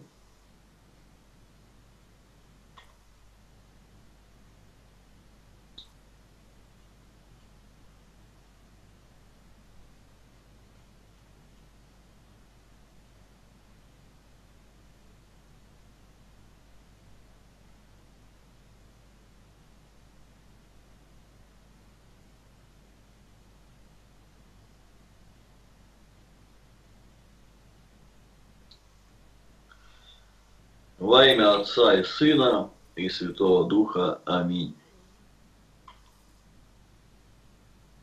Книга «Открытым оком», тема священства, том 29, вопрос 4026. Почему же даже революция не смогла своротить духовенство на путь первых христиан? Что не тем они занимаются, а нужно всем идти и евангелизировать темную революционную массу народа. Отвечает Игнатий Тихонович Латкин. Только потому, что те, кто был за реформу и кто был за консервацию всего прошлого и пошлого, все они одинаково были невозрожденными и желали только через внешнее устройство церкви привести к покорности вышедшую при наводнении из берегов широкую реку. Церковники ничего не соображали здесь. Кавычки открываются. Государственный переворот в феврале-марте 1917 года осуществился для большинства русских людей совершенно неожиданно. Он всех застал врасплох. В том числе, конечно, святейший правитель, правительствующий Синод. Большинство членов его, к тому же, было в отсутствии, уехав из Петрограда в свои епархии с наступлением Великого Поста. Общее положение русской церкви в то время могло казаться благополучным. Конечно, временами возникали проблемы. Как всегда, состав Синода, включая обер-прокурора, не всех мог удовлетворить. В частности, большой критике подвергался петроградский митрополит Петерим. Но в этом не виделось ничего катастрофического. Церковь к этому времени вместе со всей империей преодолела искушение революции 1905-1906 года. Тогда революция врывалась в ее внутреннюю жизнь главным образом в виде беспорядков в некоторых духовных академиях и семинариях. Но все это преодолели, и казалось, наступило нормальное течение жизни под покровительством благочестивого царя. Напряжение чувствовалось только в связи с тем, что шла напряженная война. Были все основания надеяться, что конец ее близится, и что она завершится победой, которая укрепила бы государственный строй и открыла бы возможность приступить к важнейшим реформам. К их числу многие надеялись присоединить восстановление патриаршества – после созыва Всероссийского собора. По грехам нашим Бог, осуди, Бог судил иначе. Тщательно подготовленный тайный заговор неожиданно поставил государя в такое положение, что он, не чувствуя ни в ком твердой опоры, вместо того видел кругом себя только измену, трусость и обман. Государь счел себя вынужденным подписать отречение от престола. Это сразу же вызвало быстрый развал всей государственной и общественной жизни, очень скоро отразившийся и на положении церкви. Все происходило невероятно быстро. Синод мог собраться только тогда, когда все уже было кончено и почти сразу был изменен его состав. А обер-прокурором назначен В.Н. Львов не вполне нормальный фантазер. Мало кто в тот момент понял все значение происшедшего. События оценивались в обществе только с политической точки зрения и исходили из осуждения всего старого. Религиозно-нравственная сторона происшедшего не могла быть представлена ни в одном органе печати. Неограниченная свобода была предоставлена только для критики и осуждения всего, связанного с церковью. Мало кто понял в тот момент, что приняв этот переворот, русский народ совершил грех, клятва преступления, отверг царя-помазанника Божия и пошел по пути блудного сына евангельской притчи, подвергая себя таким же пагубным последствиям, какие испытал он, покинув отца. Февральская революция 1917 года – а затем захват власти в России коммунистической партии, партией повлекли за собой такие испытания для церкви, каких никогда и нигде не было в истории человечества. Если гонения за веру возникали во многих странах с разной силой с первых лет существования христианства, то никогда преследование его не достигало такого размаха и такого утонченного коварства, как в России при советской власти. К мероприятиям, имевшим целью физическое истребление христиан, прибавилось возникновение расколов, пользовавшихся поддержкой коммунистической, коммунистической власти. Невозможно понять канонического положения церкви в России без того, чтобы знать историю разных попыток советской власти внести в церковь дезорганизацию и расколы с тем, чтобы подчинить ее врагам и разрушить ее изнутри. Для этого прежде всего были использованы лица, которые выросли в православной церкви и иногда даже были ее священнослужителями – но на самом деле по разным мотивам стремились к внесению в нее реформации протестантского характера. Эти лица создали обновленческое движение, которое появилось сразу же после государственного переворота. Если были среди новых деятелей некоторые идеалисты, то они скоро потонули в море оппортунистов, стремившихся отнять власть из рук иерархии или лиц, своекорыстно ставящих на службу новой власти в ее усилиях для уничтожения веры в русском народе. Обновленцы вышли из кругов русской интеллигенции, проявлявших интерес к религиозным вопросам. Эти лица приближались к церкви, но не входили по-настоящему в ее жизнь и не воспринимали ее учением полностью. Петербурге и Москве, а частью и в других городах, они встречались в разных кружках, где, впрочем, наравне с ними выступали и лица с православными убеждениями, в том числе профессора духовных, а, профессора духовных академий. Довольно долго в Петербурге председателем на заседаниях религиозно-философского общества был епископ Ямбургский Сергий Строгородский впоследствии патриарх. Видным участником общества был и будущий вождь обновленцев епископ Антонин Грановский. Из будущих заграничных деятелей назову Бердяева, Булгакова, Карташова, Мережковского, Мережковского, Франка. Кроме религиозно-философских обществ в Петербурге и Москве, был ряд разных кружков, члены которых, если и интересовались религиозно-философскими вопросами, то с предубеждением относились ко всему ортодоксальному, как к чему-то скучному и устарелому.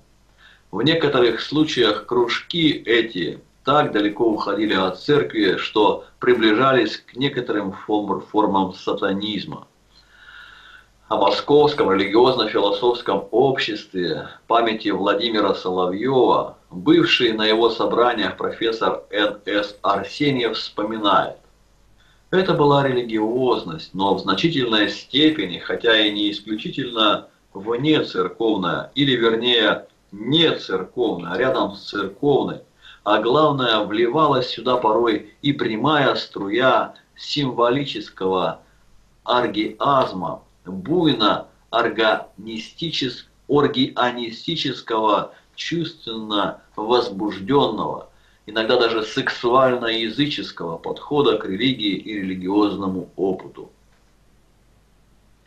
Из участников таких кружков и нецерковно верующих прогрессивного направления вышли идейные основатели обновленческого движения. Гораздо больше было среди них пресвитериан, то есть представителей белого духовенства, стремившихся к власти и питавших зависть и неприязнь к черному духовенству и епископам.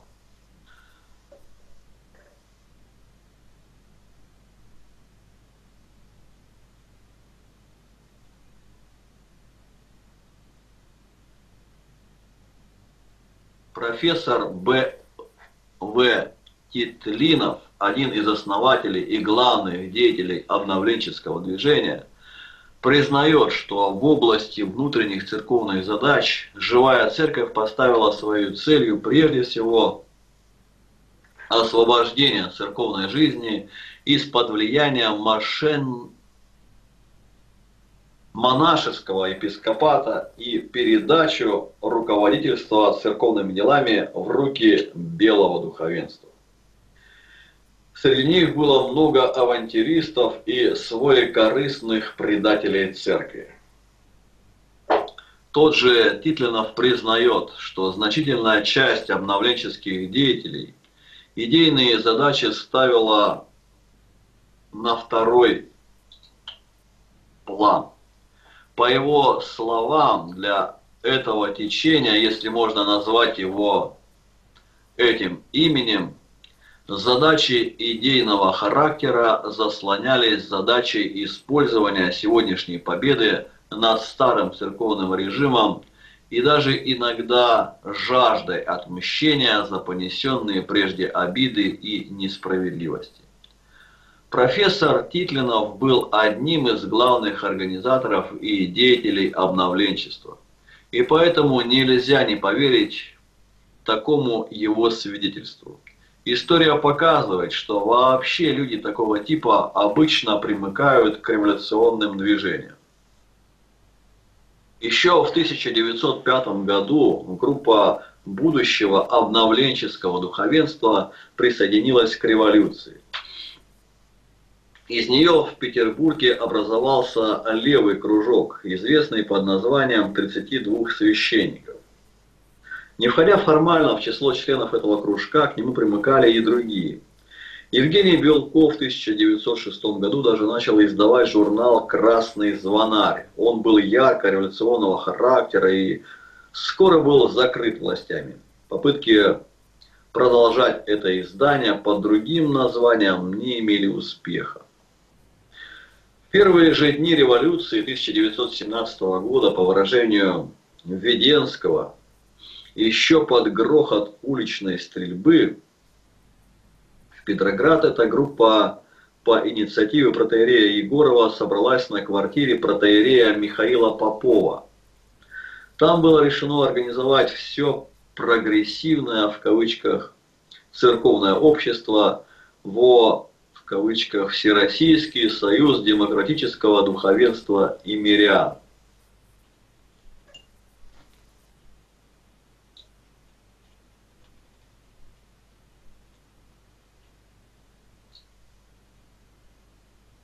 На первом месте у этого общества стояли цели революции и установления республиканского образа правления.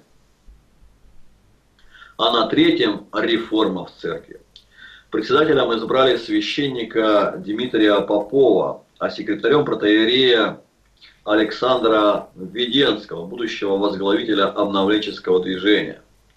Союз демократического духовенства снесся с единомышленниками в Москве и просил прислать им оттуда представителя. Поехал Веденский. Он снова выступил с лекцией, но не имел успеха. Он выступил с лекцией, но не имел успеха. Москва еще отставала от Петрограда в отношении революционного духа. И в Союз записался только один священник. Гораздо лучше пошло дело Союза в Петрограде. Там к нему примкнул уже упомянутый нами профессор Китлинов. С его помощью при Синоде был основан новый официальный орган Э, церковно-общественный вестник, который Союзу легко удалось взять в свои руки. Через него он и повел всемирно пропаганду своих идей. Работа эта облегчалась для церковных революционеров смутным положением в самом святейшем правительствующем синоде. Профессор Протарей Федор Титов пишет о, о первенствующем члене Синода в то время митрополите Киевском Владимире. Цитата. Ему, убежденному стороннику строгой законности и непреклонному хранителю церковных канонов и традиций, суждено было встретиться лицом к лицу с непреодолимым стремлением ввести революционные начала в сферу церковных отношений.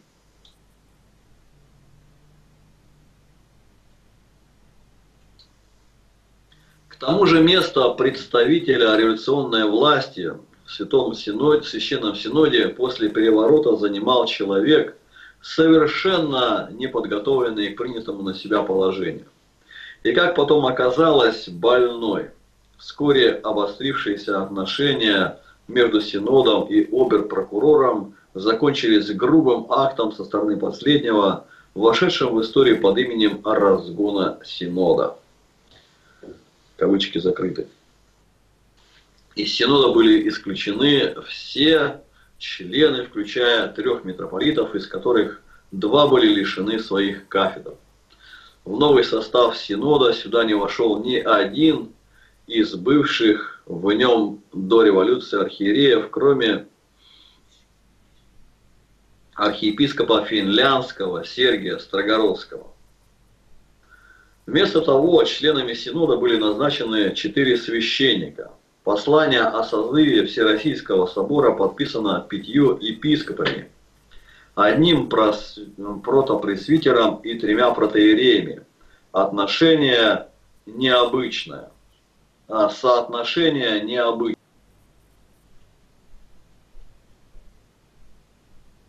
того, чтобы было понятно, насколько это мероприятие было актом революционного насилия, надо сказать несколько слов вообще о составе Синода.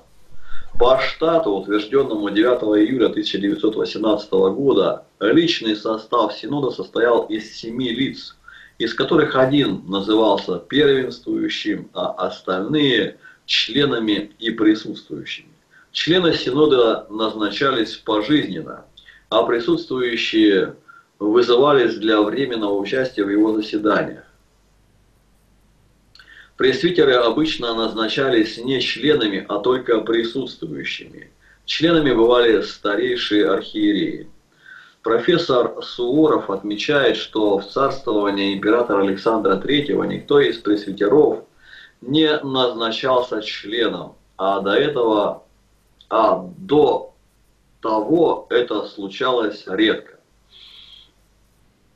Таким образом, увольнение пожизненных членов Синода было поступком незаконным и революционным. Разгону Синода предшествовало не только упомянутое выше увольнение с кафедр двух митрополитов. Кроме них уволили с кафедр еще 10 архиереев. Архиепископ Никон в книге «Жизни описания митрополита Антония» приводит их имена. Введенский не без некоторого бахвальства пишет о том, как составлялся новый синод. По его словам, это в кавычках развернулись свободные творческие силы, пришли те, кто давно родил о свободе церковной и политической. Инициативная группа Петроградского духовенства, в числе которых были члены государственной группы, протеерей А. Я. Смирнов, протеерей Д.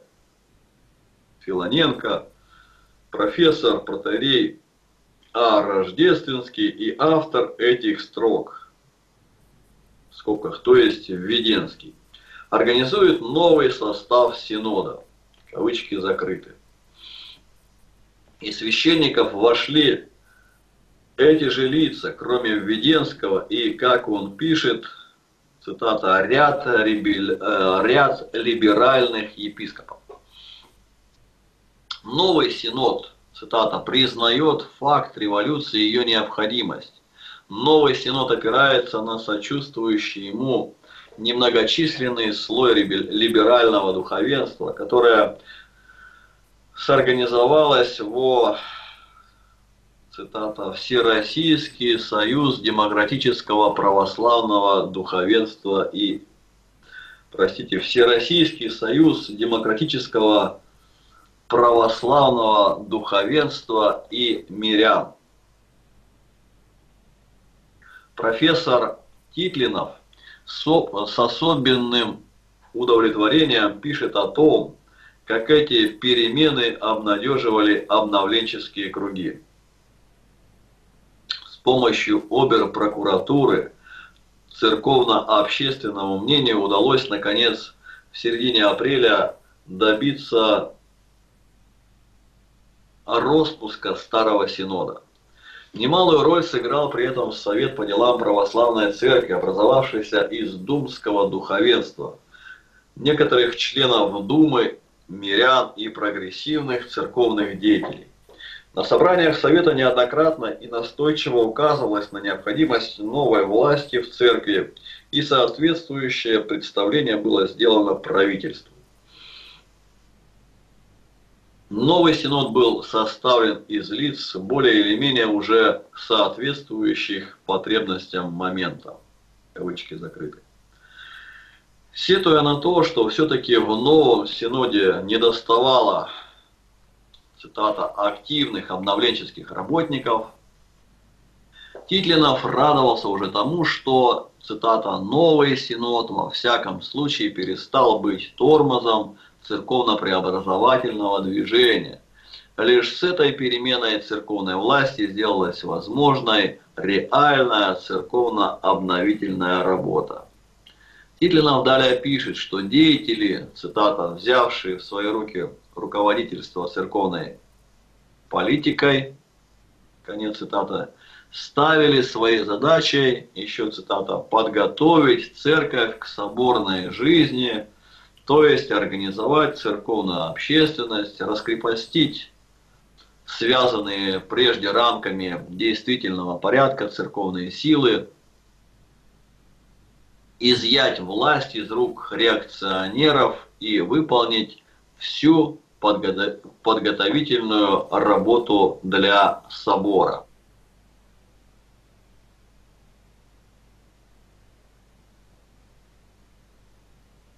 Созывом собора последнему передавалась дальнейшая судьба церковного реформаторства. Конец цитаты.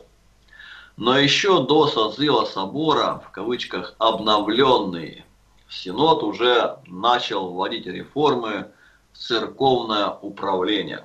Им были изданы временные положения о приходе и епархиальном управлении, построенные на выборном начале титлинов.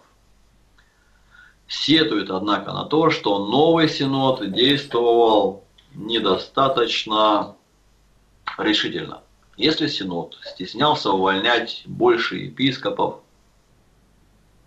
чтобы не слишком поощрять анархические элементы в церкви, то обновленческое сознание Титлинова с этим не мирилось.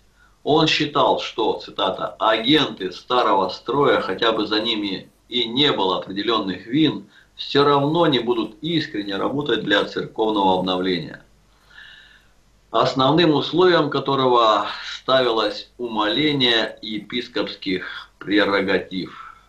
Конец цитаты. 29 апреля 1917 года Синод в новом составе объявил о созыве Всероссийского собора. Во главе подготовительной работы становится архиепископ финляндский Сергий Строгородский. Образовывается предсоборный совет, цитата, 25 мая за номером 32800 Синод созывает в этот совет ряд, ряд либеральных профессоров в качестве спецов. Конец цитаты. Кроме них, в составе Совета был, конечно, и ряд духовных лиц по должности. Обновленцы уже перед тем начали развивать большую деятельность. Веденский писал о положении, которое он нашел в Петрограде по возвращении из Москвы. Цитата. Там работа идет. Союз приобрел крупную литературно-богословскую величину в лице профессора Титлинова. С его помощью официальный орган при реорганизованном синоде церковно-общественный вестник удалось взять, свою, удалось взять в свои руки –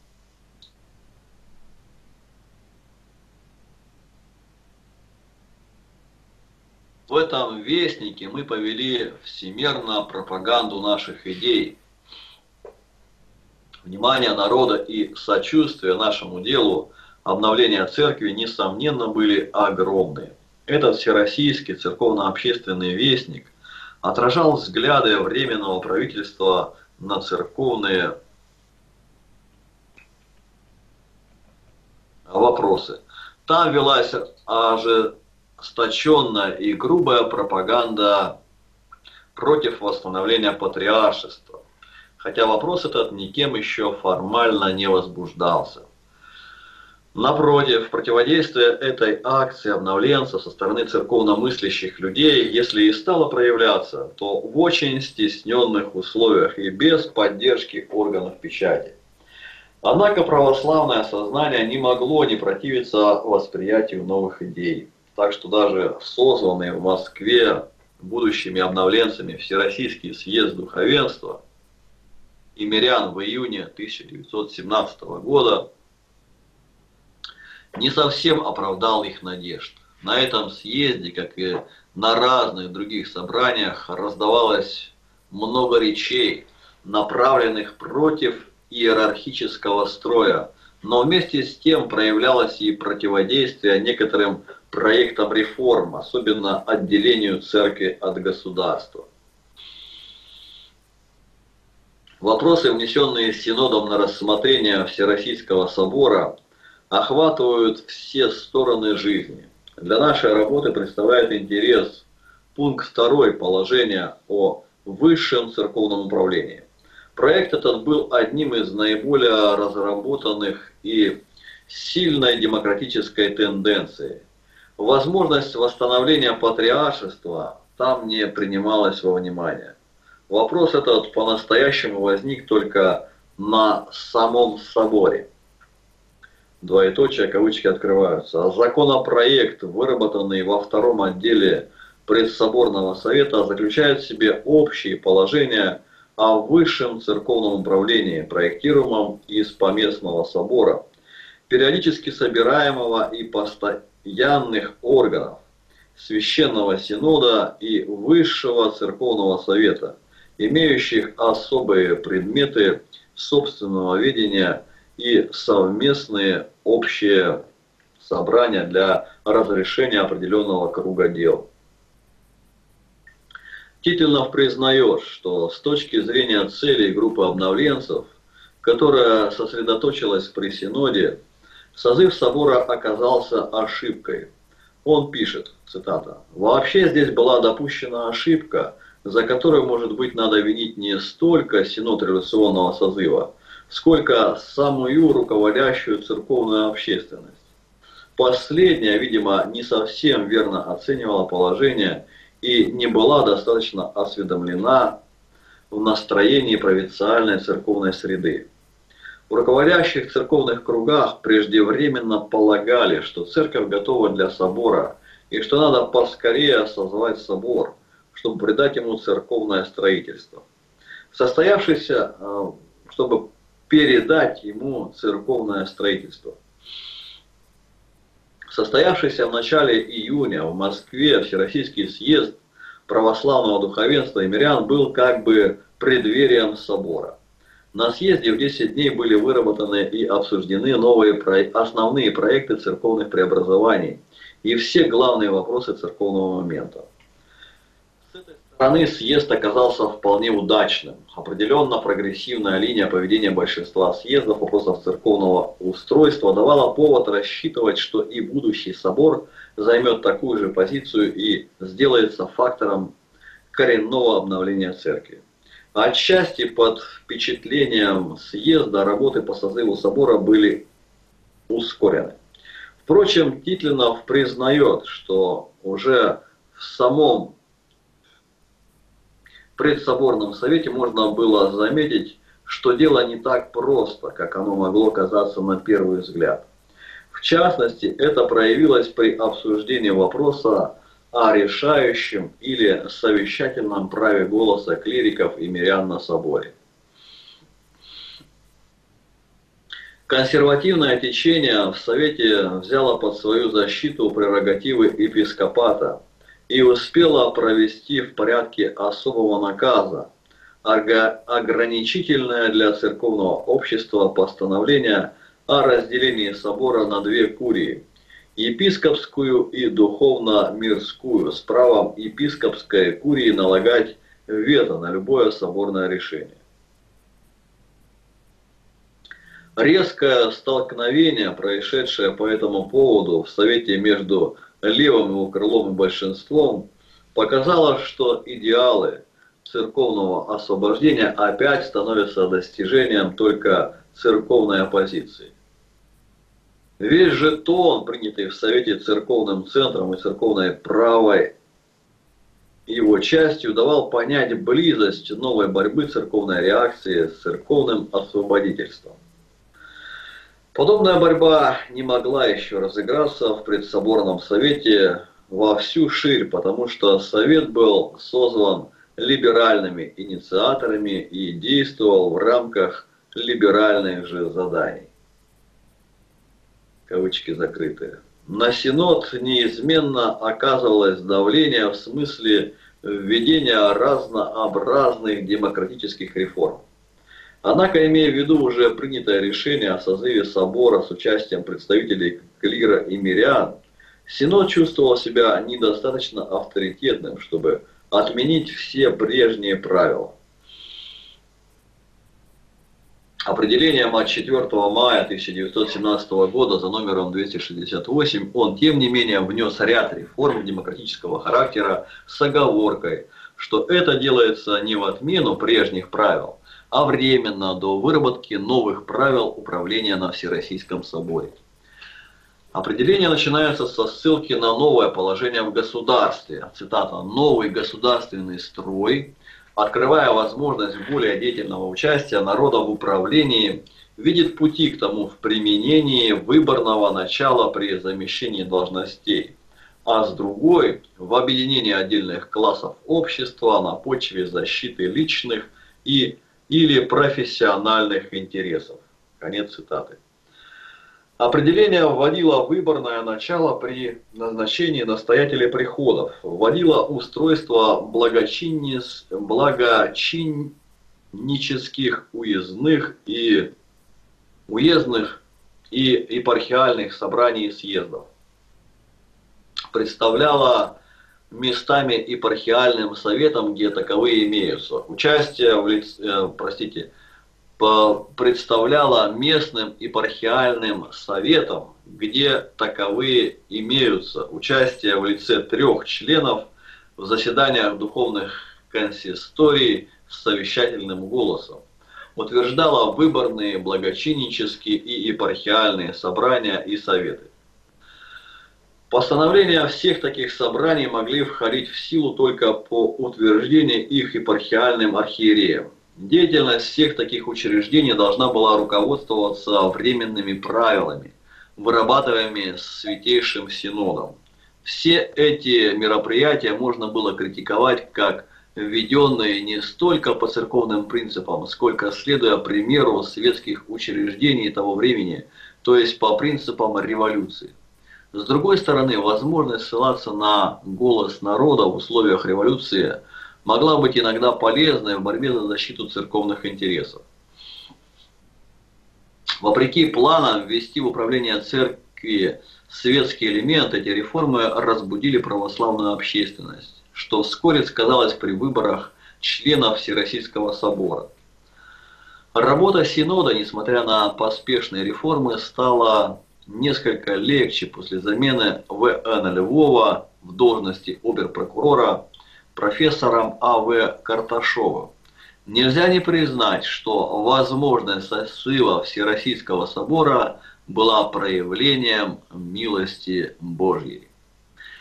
Если бы его созыв состоялся хотя бы на два месяца позднее, он едва ли мог бы решить вопрос о восстановлении патриаршества – а приход к власти коммунистов уже успел бы внести такой хаос, что мог быть поставлен и самый вопрос о возможности организации размещения и содержания членов собора в Москве. Кавычки закрываются. Книга Левит, 26 глава, 25 стих и наведу на вас мстительный меч в отмщение за завет. Если же вы укроетесь в города ваши, то пошлю на вас язву, и преданы будете в руки врага. Пророк Иезекииль 11.8 Вы боитесь меча, и я наведу на вас меч, говорит Господь Бог. Второзаконие 32.41.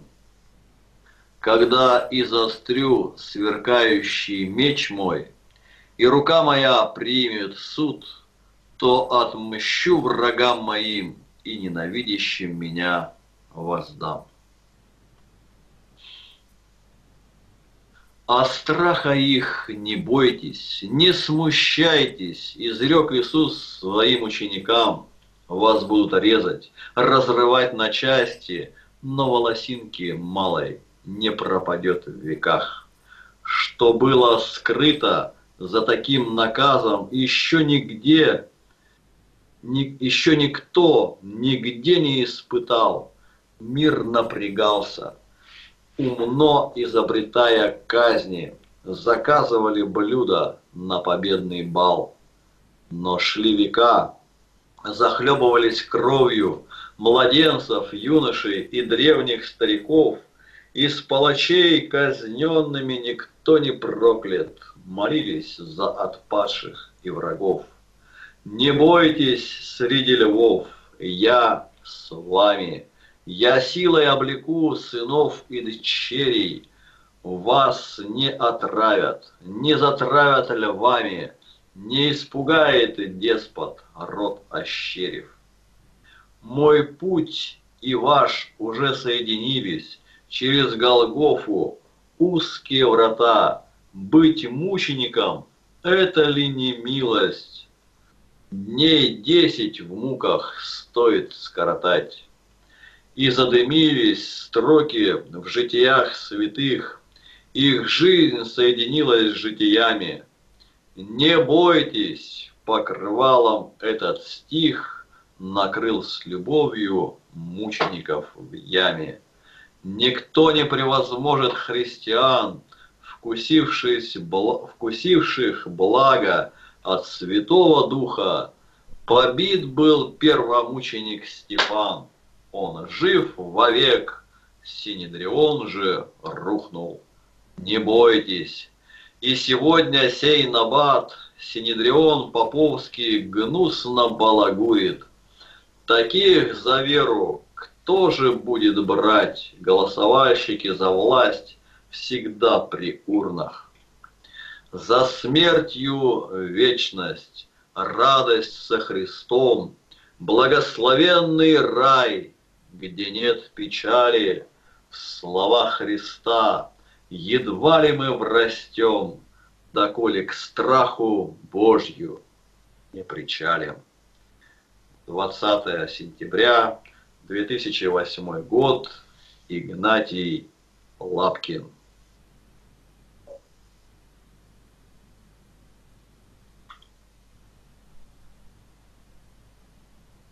На сегодня пока все. Благодарю за внимание. Оленька, спаси Христос за помощь. Пошел с Богом.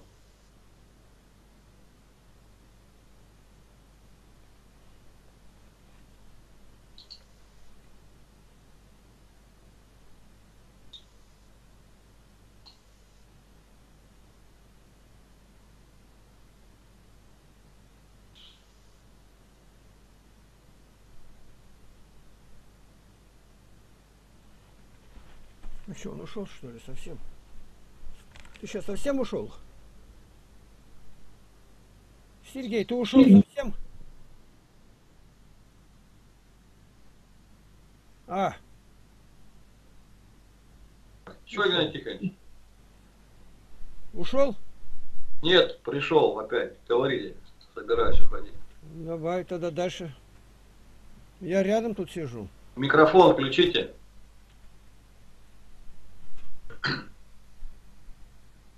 Я говорю, Что-то хотели сказать? Не слышу. Че-че? Как, сейчас не слышишь? Сейчас слышу. Я рядом тут. Я все, ухожу, все. Совсем? Ну все тогда. С Богом. Да. С Богом. Ну все тогда.